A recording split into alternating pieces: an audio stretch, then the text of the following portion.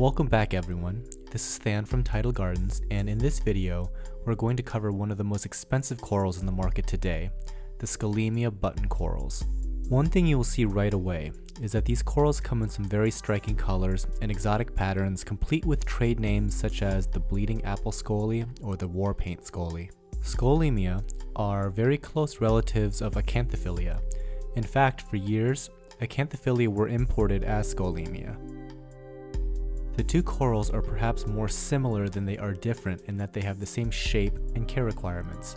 They both prefer low to medium lighting, and they do better in areas where they are not exposed to strong current. Perhaps the most important thing you can do for these corals is feed them.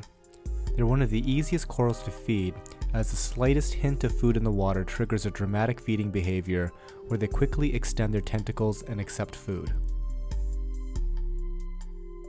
I like seeing these corals feeding in time lapse like this. In real time, you don't get to see some of the subtle details, like how the coral redistributes the water in its body from the outside rim to inflate the tentacles closer to the mouth. Sometimes I marvel at just how different corals are than what we typically see on a daily basis here on land. If you made a space alien movie where the aliens looked like this, nobody would buy it. I can just see the director saying, nope, too weird, get me that guy in the rubber suit. Anyhow, I digress. Okay, question of the day is, if you have a scoly in your tank, where do you like to place it? A problem I always ran into with this coral is that they look great by themselves, but for some reason don't aesthetically blend in with the rest of the tank, so they tend to just sit at the bottom all alone. Let me know in the comments, or better yet attach a video response showing it in your tank. I mentioned earlier that these tend to be on the expensive end as far as corals go. Now there's a couple reasons for this. Number one, they're popular. Anytime you get a situation where a coral is popular, it's going to drive the prices up. These corals really are not that rare in the wild. It's the high demand for them that keeps them pricey because there's plenty of corals coming from the same waters that are far less common and sell for quite a bit less. Number 2, they really can't be propagated at this time.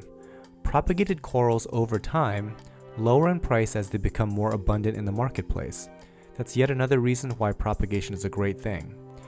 It's possible to use a bandsaw and cut one in half, but you have two immediate problems. First, scolies do not tend to heal as well as some other large polyp stony corals, so it's possible you may lose one or both halves of the coral. Second, it takes a very long time for this coral to regain its round shape. In fact, I've never actually seen it happen. It may take years. Thanks for watching guys, and I hope you enjoyed the video. If you'd like to find us online, here's our site, Facebook, and Twitter. Until next time, happy reefing.